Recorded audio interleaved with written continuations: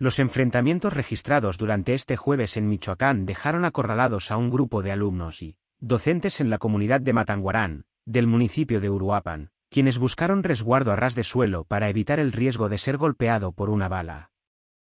Según se mencionó, los enfrentamientos en Matanguarán provocaron que tanto alumnos como docentes se resguardarán al interior de las aulas desde las 9 y 40 horas hasta las 12 del mediodía y 30 cuando lograron salir con apoyo policíaco.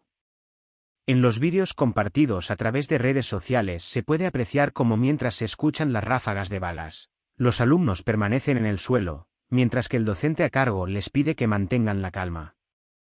Otros materiales videográficos captados por los maestros muestran cómo los vehículos de los docentes son escoltados por elementos de la policía. En la grabación se puede escuchar como uno de los profesores narra que, tras permanecer durante horas encerrados en las aulas por los enfrentamientos, lograron salir gracias al apoyo de las fuerzas policíacas que arribaron a la zona en al menos 30 camionetas, según se menciona en el vídeo.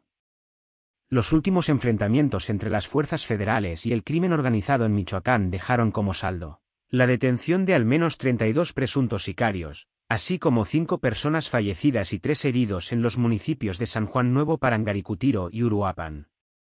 Según informó, José Alfredo Ortega Reyes, general del Ejército y actual secretario de Seguridad Pública en Michoacán, estos enfrentamientos se detonaron alrededor de las ocho horas de este jueves cuando civiles armados atacaron el edificio de la alcaldía.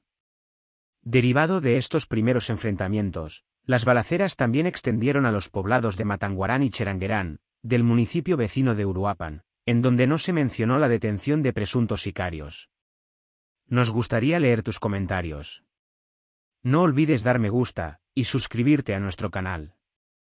Hasta pronto.